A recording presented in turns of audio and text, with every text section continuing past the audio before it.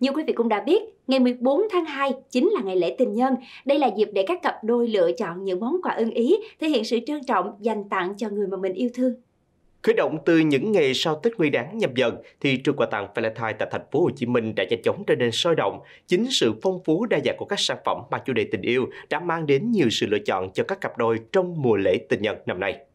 Do kinh tế vẫn còn bị ảnh hưởng bởi dịch Covid-19 nên các sản phẩm năm nay đều có giá cả bình ổn, không tăng giá so với mọi năm.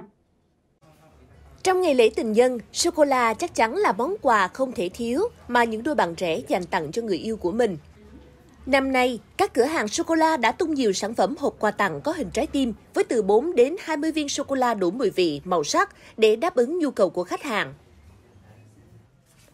Còn với các sản phẩm hoa tươi, hoa hồng luôn là loại hoa được ưu tiên.